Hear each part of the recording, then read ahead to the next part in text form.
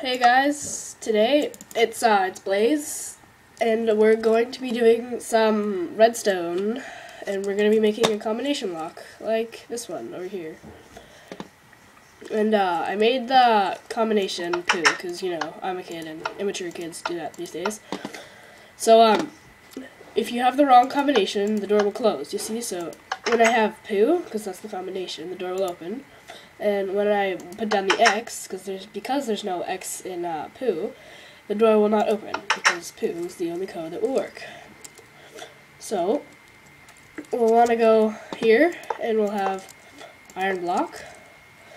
Well, actually, you know what? No, it doesn't matter what block you use, but I'm just using iron because you know it's the first thing I grabbed. So we'll go like this, okay and then put your iron door, because that's what it has to be, right there, and then put three levers. You could do more if you want, but I'm just going to do three. So we'll have A, B, and C. I say. Okay, and then you're going to want to put a block for every one that you have a lever for. So let's make the code just AC. So for the ones that we want, we are going to put a redstone repeater facing that way for it. Okay. So the repeater's turned on like that, but when I flick that lever, it's off, right? So we're just gonna flick them off for right now.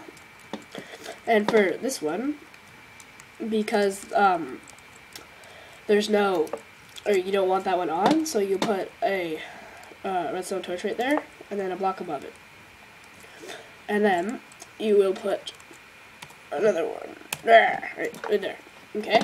So when this one is turned on, that one will be off and that one will um, like be on and stuff. Because, you know, because everything just has to be so complex these days.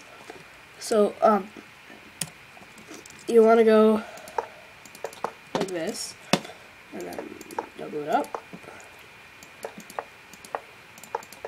Like that for now.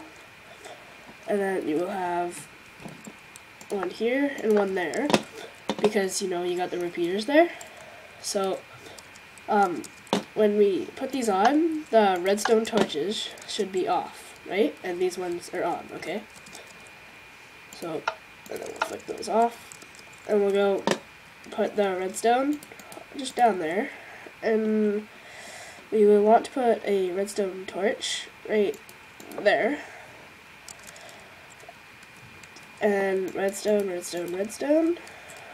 And let's see if this works. So we'll have A and C. And it works.